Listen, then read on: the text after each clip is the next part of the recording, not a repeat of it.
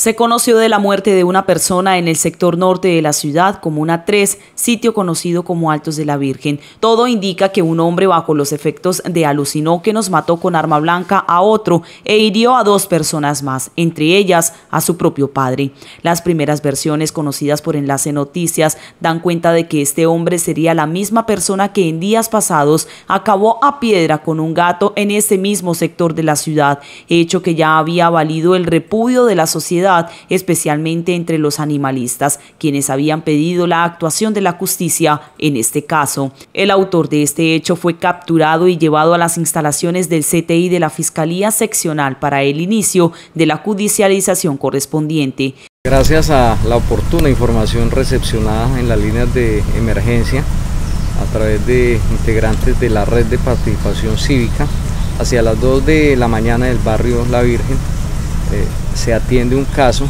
de eh, una riña al interior de una residencia.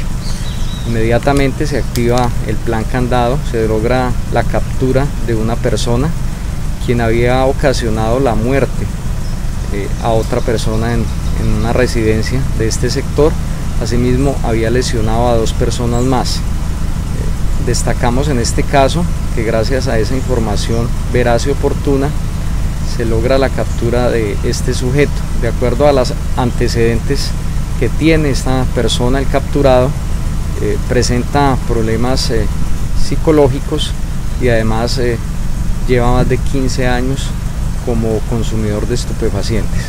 Dentro de los heridos se encuentra el padre del capturado, estas son imágenes obtenidas la noche del miércoles en el lugar de los hechos, justo cuando se adelantaban las diligencias de inspección de cadáver y su posterior traslado al Instituto de Medicina Legal para los trámites de ley.